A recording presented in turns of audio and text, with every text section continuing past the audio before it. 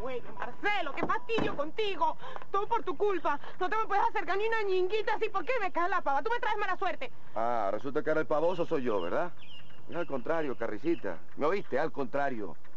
Porque desde que te me apareciste en la vida, me torciste el camino. ¿Cómo es la cosa? Mira, mi hijo, no me haga hablar, porque a ti te puede caer un pasmo, te puede salvar de un pasmo, pero no a la lengua mía. Tú me prometiste más villas que un político. Tranquila, Carricita, tranquila. Espérame, yo voy a volver. ¿Y qué? ¿Te casaste? Oh, sí, porque tú te metiste a monja. Pues lo pensé. Lo que pasa es que el faldón ese da mucho calor, no juegue. Cuando da calor, te aviso. No, ¿Qué vas a hacer tú allá abajo? ya te digo.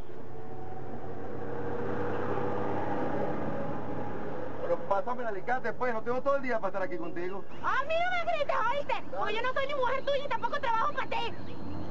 Güey, estás gritando